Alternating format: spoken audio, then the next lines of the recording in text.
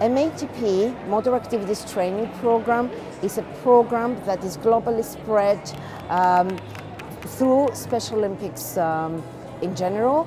and it serves athletes with intellectual disabilities at the severe form that they cannot actually participate at a competitive level of Special Olympic sports.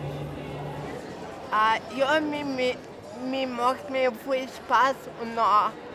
die Klienten und macht viel Spaß für Sportler und ja. I feel MATP is important because this type of population uh, they do have the power, they do have the skills, they can improve and they can actually show the rest of the society that they can do it.